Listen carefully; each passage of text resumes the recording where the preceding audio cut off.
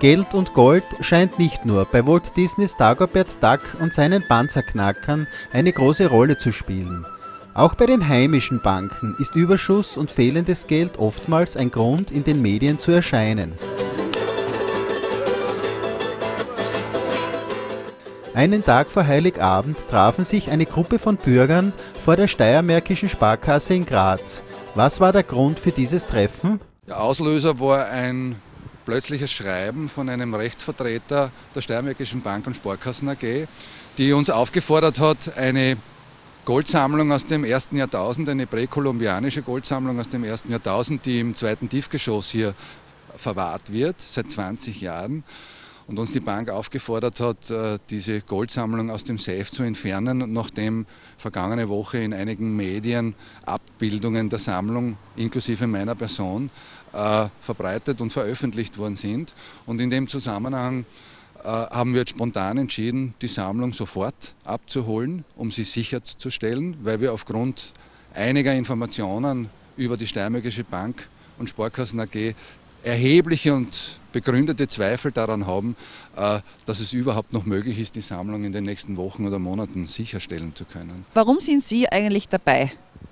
Also ich bin deswegen dabei, weil ich habe einen rechtsgültigen Vertrag, ein rechtsgültiges Urteil und eine Drittschuldner Exekutionsurteil und die Bank weigert sich, mir das Geld auszuzahlen, weil es durch Datenschutz.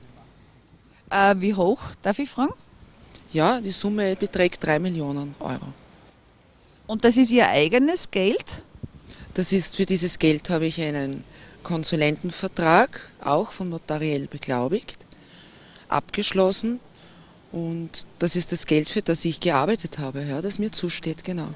Wir sind seit Monaten am Recherchieren über bankingleaks.com äh, und sind im Zuge von Recherchen und Zeugeneinvernahmen auf Dinge gestoßen, die, sagen wir mal so, einen Bankenskandal jetzt einmal skizzieren, der noch nicht veröffentlicht ist und wo noch keine Details veröffentlicht worden sind.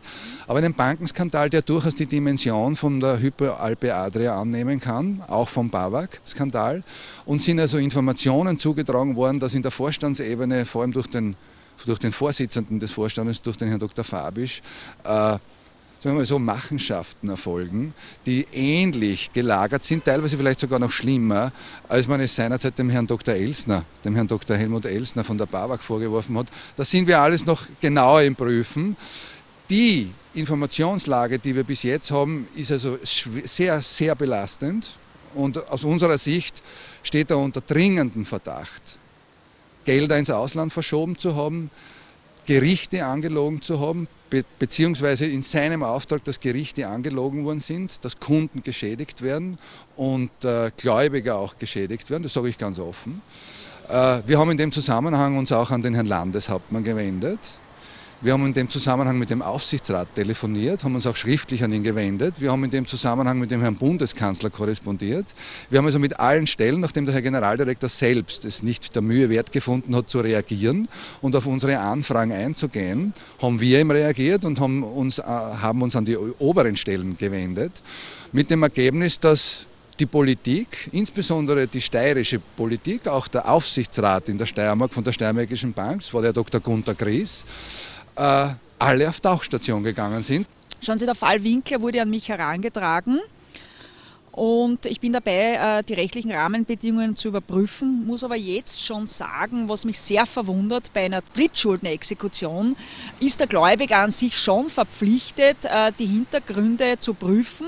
Es wundert mich das Verhalten der Bank hier sehr, äh, die ganz einfach sich auf den Standpunkt stellen, sie geben keine Auskunft. Also das ist schon fragwürdig, sage ich jetzt mal.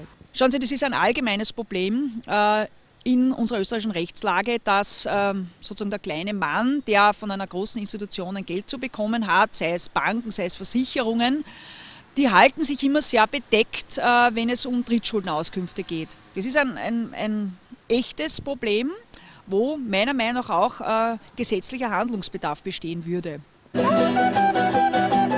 Der Zugang zu den Schließfächern mit der präkolumbianischen Goldsammlung wurde dem Eigentümer gewährt, wie es aber mit dem Geld der Frau Winkler und deren Rechtslage weiterhin aussieht, wird die Zukunft zeigen.